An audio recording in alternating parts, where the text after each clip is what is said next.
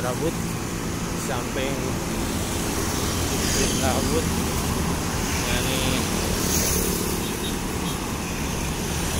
daerah Ciputra Hotel ini ada hotel dari Ciputra Hotel itulah informasi yang bisa saya bagikan tentang Ciputra Wood di kota Surabaya tepatnya di Jalan Mayen Sungkono. Terima kasih. Assalamualaikum warahmatullahi wabarakatuh.